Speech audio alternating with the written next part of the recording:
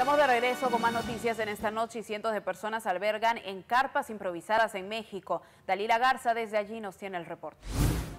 Muchas gracias, muy buenas noches. Eh, me encuentro en la colonia Roma, en unas carpas improvisadas que han puesto desde hace 12 eh, días eh, que pasó el sismo y bueno, pues en este momento hemos estado platicando con algunas, algunos familiares de personas que aún se encuentran adentro del edificio que está menos de una cuadra de nosotros y que colapsó por completo es Ángel de 27 años de edad, a quien están esperando aquí sus familiares. De hecho, esta tarde tuve la oportunidad de platicar con su papá, él ahorita está dormido, no han ido a sus casas, eh, están, bueno, completamente devastados. De hecho, aquí está su prima, ¿cuál es su nombre? Gabriela Padrón.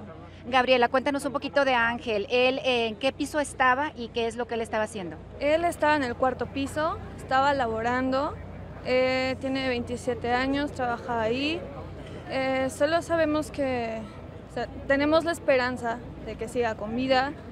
Mm, han hecho, bueno, ha habido rumores de que siguen ahí, de que hay por lo menos cuatro personas con él.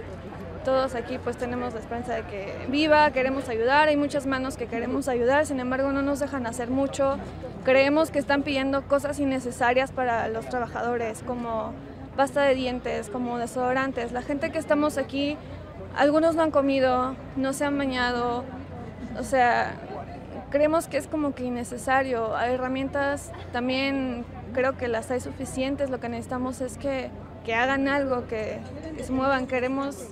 Muchas gracias. Y bueno, aquí está tu mamá precisamente que es tía de, de, Ángel. Señora, usted también está bastante consternada, dice, está aquí apoyando por supuesto a su hermano.